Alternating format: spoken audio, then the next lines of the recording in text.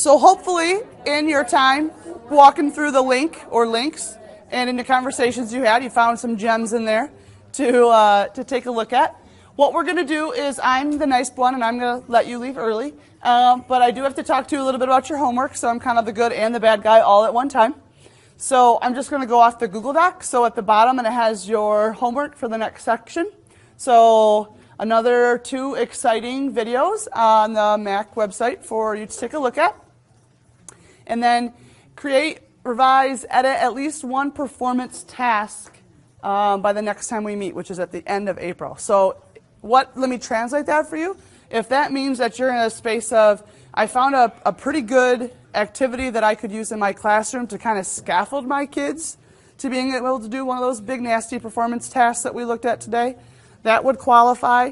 Uh, but if you're at the spot where, you know, we had asked you earlier to talk about how you're using performance tasks, if you already are, and so maybe you're ready for that next step and ready to make one of those big ugly performance tasks all on your own, then you can do that too. So know that there's a continuum there, and wherever you feel like you find yourself, have something ready to go by the next time that we meet because Mark will walk you through, or someone will walk you through that journeying process again where you can share your ideas around a performance task item.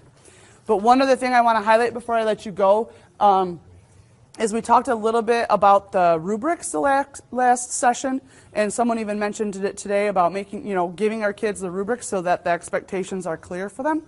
But being that we're slightly lazy folks at the ISD, uh, we've provided two links up there, literacy rubrics.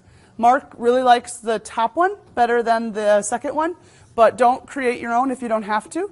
Uh, utilize those that are up there to help you if, if you're in a space of creating something where you're going to have a rubric attached to it.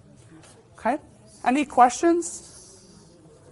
All right, well, thank you again for your time and attention today, and we'll see some of you guys in a couple of weeks.